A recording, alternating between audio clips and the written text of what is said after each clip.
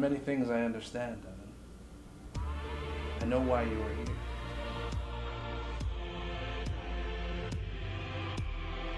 What, you're not even gonna take an apology no, now, really? Devin, I won't. I'm tired of them. I think it's important that you remain calm. Don't worry about why you are here. You have walked in, and an opportunity awaits you. Look, I was wrong. Okay? Lisa, I love you.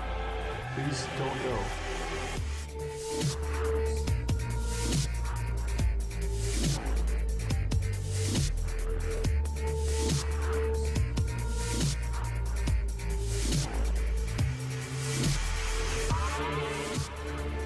You have never seen her like this.